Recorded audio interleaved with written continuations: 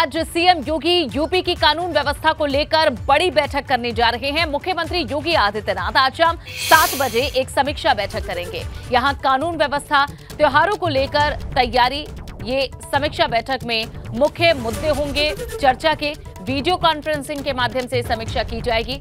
बता दें कि बकरा ईद कांवड़ यात्रा, सावन मेले के संबंध में ये समीक्षा बैठक बुलाई गई है।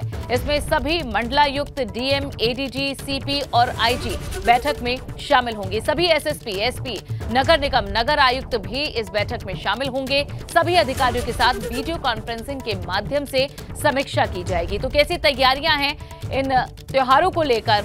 कैसी व्यवस्था की गई है, इसका जायजा खुद सीएम लेंगे।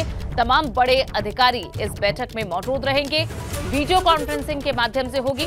बता दें कि जल्द ही बकरीद का त्यौहार, कांवड़ यात्रा, सावन मेला आने वाला है और ऐसे में भारी भीड़ सड़कों पर नज़र आती है, बाजारों में नज़र आती है।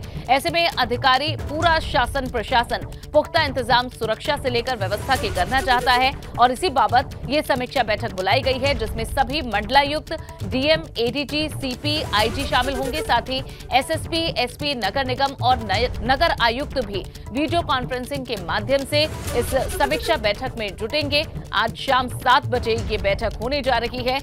तो ये बड़ी खबर आपको दे रहे हैं। आज मुख्यमंत्री योगी आदित्यनाथ शाम सात बजे समीक्षा बैठक करेंगे। कानून व्यवस्था और त्योहारों को लेकर इस बैठक में चर्चा होगी। और चलिए, इसी बैठक पर ज़्यादा जानकारी देंगे हमारे संवाददाता लखनऊ से अनुभव शुक्ला। अनुभव बताएँ कि क्यों महत्वपूर्ण है ये बैठक? देखिए, मुख्यमंत्री कल जब वापस आए तब भी उन्होंने बैठकें की और आज शाम को बैठक रखी गई है सात बजे। जो मुख्यमंत्री आवास पर होगी और वीसी यानी वीडियो कॉन्फ्रेंसिंग के ज़रिए बैठक होगी। कानून व्यवस्था को लेकर, साथ ही साथ जो आगामी पर्व त्यौहार आ रहे हैं, उसको लेकर मुख्यमंत्री प्रदेश के 75 जिलों के जो डीएम हैं एसएसपी हैं, कमिश्नर हैं, नगर निगम के जो अफसर हैं, तमाम सारे लोगों के साथ ये बैठक करेंगे।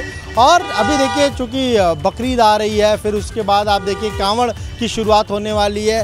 इसलिए कैसे प्रदेश में सुरक्षा व्यवस्था रहे, कानून व्यवस्था किस तरीके से ठीक रखी जाए, इन्हीं सारी चीज़ों को लेकर खुद मुख्यमंत्री जो है वो वीडियो कॉन्फ्रेंसिंग करेंगे, अफसरों को निर्देश देंगे कि क्या कुछ चीज़ें करनी है, किस तरीके से सारे काम होने हैं। हमने देखा इसी उत्तर प्रदेश में, कानपुर में क्या हिंसा हुई, हंगामा हुआ, प्रयागराज में क्या हंगामा हुआ, फिर उस तरह की चीज़ें ना होने पाए, इसको लेकर बहुत ज़्यादा जो प्रशासन है वो कंसर्न है, और इसीलिए मुख्यमंत्री आज ये बैठक कर रहे हैं। बैठक में ये नहीं कि केवल डीएम और एसपी होंगे, बल्कि तमाम जो अन्य अधिकारी हैं, उस ज़िले के जो प्रमुख अफसर हैं, वो सभी लोग इस बैठक में शामिल होंगे। तो हम ये कह सकते हैं कि एक बड़ी बैठक आज मुख्यमंत्री ने रखी है, जिसमें उनकी तरफ़ से ना केवल कानून व्यवस्था को लेकर, बल्कि किस तरीके से शहर को स्वच्छ, साफ़ रखा जाए, जब पर्व त्यौहार हो तो बिजली की कैसे व्यवस्था की जाए, इन सारी चीज़ों पर वो चर्चा करेंगे।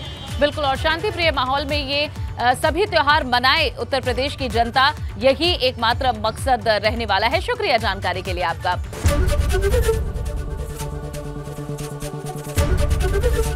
एबीपी गंगा, खबर आपकी जुबा आपकी।